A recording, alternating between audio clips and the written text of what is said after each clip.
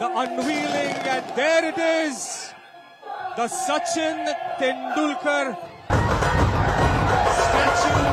ডান পা কিছুটা সামনে পেছনের পা ক্রেজে। কোমরে হালকা ভর করে করা লফটেড কাভার ড্রাইভে বল সীমানা ছাড়া হয়েছে অজস্রবার সচিনের সে ট্রেডমার্ক শটের স্থায়ী নিবাস এখন ওয়াংখেড়ে স্টেডিয়াম।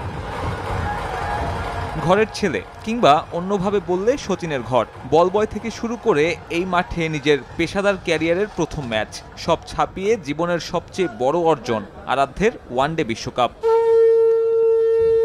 আরাধ্যের ওয়ানডে বিশ্বকাপ শিরোপাটাও সচিন এই মাঠে বসেই হাতে তুলেছিলেন।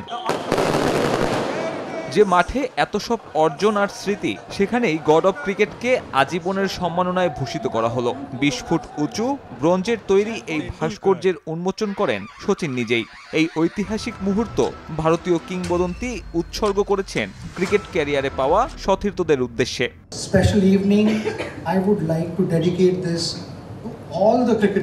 যাদের সঙ্গে আমি খেলেছি তাদের সহযোগিতা এবং অবদান ছাড়া কখনই ভারতের জার্সিতে চব্বিশ বছর খেলতে পারতাম না। তাই বিশেষ করে এই মুহূর্তটা আমি তাদের উদ্দেশ্যেই উৎসর্গ করছি। যারা কেবল আমার সঙ্গেই খেলেনি বরং বিশ্বজুড়ে লক্ষ লক্ষ মানুষদের অনুপ্রেরণা জুগিয়েছেন। আমি মনে করি সবার কঠোর পরিশ্রমের কারণেই এই খেলাকে সামনের দিকে এগিয়ে নিয়ে যাবে. Uh, fantastic news where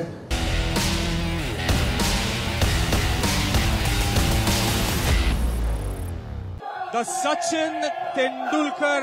One day O test ক্রিকেটের সর্বোচ্চ রানের মালিকের ভাস্কর্য বসানো হয়েছে ঠিক সচিন টেন্ডুলকার স্ট্যান্ডের পাশে, যার কারিগর প্রমোদ কাম্বেলে। সচিনের জন্য অবশ্য এটা প্রথম অভিজ্ঞতা নয়। এর আগে লন্ডনের মাদাম তুসো জাদুঘরেও স্থাপন করা হয় এই ক্রিকেট কিংবদন্তির ভাস্কর্য।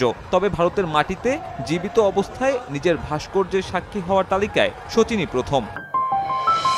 ক্রিকেট স্টেডিয়ামে ক্রিকেটারদের ভাস্কর্য স্থাপনের নজির এটাই প্রথম নয়। Don Bradman, Garfield Sobers Viv Richards কিংবা শেন ওয়ানদের ভাস্কর্যও রয়েছে নিজ নিজ দেশের স্টেডিয়ামে।